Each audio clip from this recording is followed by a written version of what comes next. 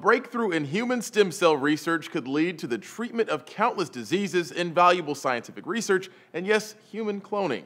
According to a study in the journal Cell Stem Cell, scientists have synthesized human embryonic stem cells from the cells of adults, creating two different lines from the skin of two donors. Using the nuclear transfer method, scientists took DNA out of egg cells and replaced it with the donor DNA, the cells were basically reprogrammed, but of the 77 samples, only two fully developed into cloned stem cells. Lead researcher Robert Lanza says the 5% success rate isn't surprising.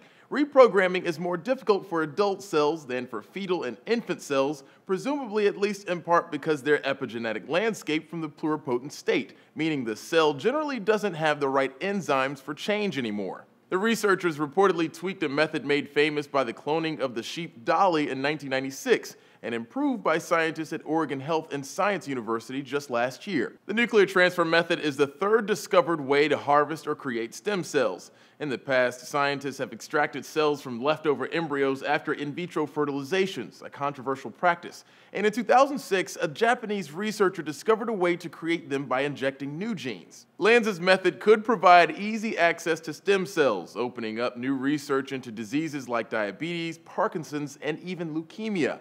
And according to NPR, the researcher wants to create a virtual library of cells using carefully selected DNA donors. The implications of a real and viable approach for creating stem cells could be startling, and scientists have been wrestling with the ethical question since the cloning of Dolly. An official at Oregon Health and Science University thinks studying stem cells is necessary, telling Time they have become kind of like cursed cells but we clearly need to understand more about them. But with stem cell research also comes a debate about human cloning. The director of the Center for Genetics and Society tells the Oregonian the practice should be preemptively outlawed. If we're going to be having cloned embryos in laboratories around the country, we really need to get our act together and have a law that prohibits human reproductive cloning. But how close are we to a world of body doubles and evil clones? According to Paul Knoepfler at the University of California, Davis, not very.